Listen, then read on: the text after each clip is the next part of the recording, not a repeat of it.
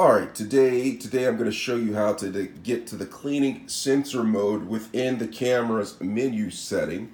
All right, I have the AR A7R Mark III by Sony camera. I'm going to show you how to get to the cleaning mode. So I'm going to go into the menu setting.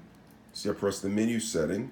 And then I am going to get toggle to I get to this little briefcase right here. You see this briefcase?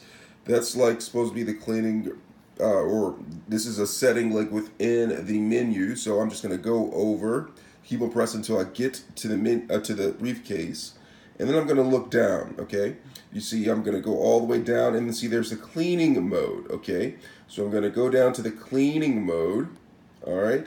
And that's how you get to the cleaning mode section right there. And right there gives you a couple of options.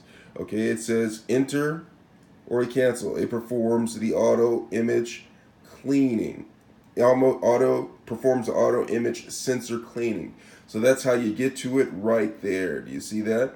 All right, let me know if you have any questions. Thanks a lot for watching.